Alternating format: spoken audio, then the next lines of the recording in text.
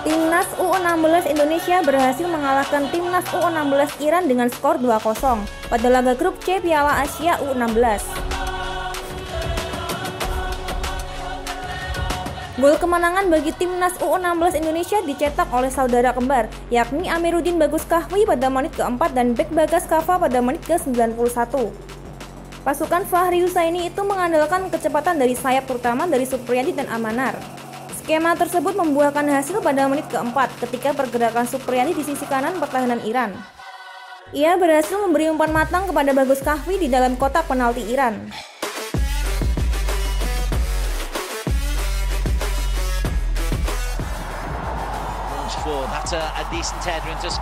Supriyadi. Supriyadi, lovely ball, goal!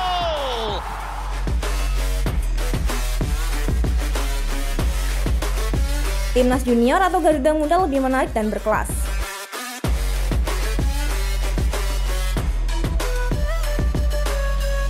Second chance for Andre. Leaves it for Bagas. Still Bagas. Bagas! Uh, thank God that the brothers on the rise now. Endless celebrations all in my Perbedaan antara timnas U16 dan timnas Indonesia U19 terletak dari strategi yang berbeda. Menang 1-0 atas Uni Emirat Arab U19 di pertandingan ketiga grup A Piala Asia U19 2018 di Stadion Gelora Bung Karno, Jakarta.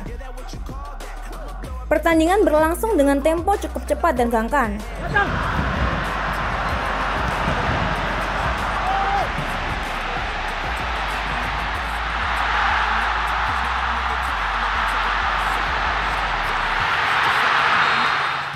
Sejumlah peluang sempat didapat kedua tim, terutama dari pihak Garuda Jaya.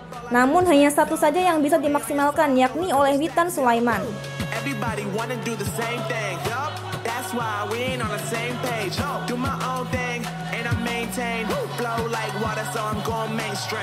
Garuda Jaya bermain apik di pertandingan ini meski sempat main dengan 10 pemain saja.